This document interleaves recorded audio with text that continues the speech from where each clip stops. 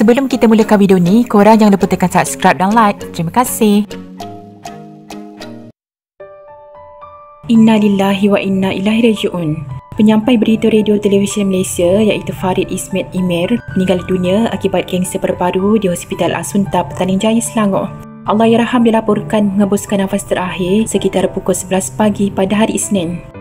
Melalui laman Facebook pembaca berita RTM, Rozimah Majidin, dia juga berkongsi berita sedih itu dan mendoakan agar arwah ditempatkan dalam kalangan orang yang beriman. Saya baru terima berita sedih ini dari keluarga arwah. Dengan duka citanya, saya ingin memaklumkan bahawa rakan seperjuangan kita, Pak Ngah atau Farid Ismail Emir telah mengebuskan nafas terakhirnya baru sebentar tadi di Hospital Asunta Petaling Jaya Selangor.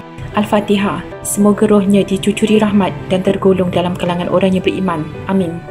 Jenazah Allahyarham kini berada di Masjid Kampung Melayu Petaling Jaya dan akan dikebumikan di tanah perkuburan Ismail Taman Medan PJS 4 Petaling Jaya.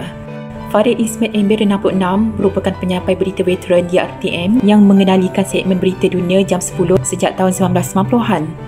Semoga roh Allahyarham dicucuri rahmat yang ditempatkan dalam kalangan orang yang beriman. Amin.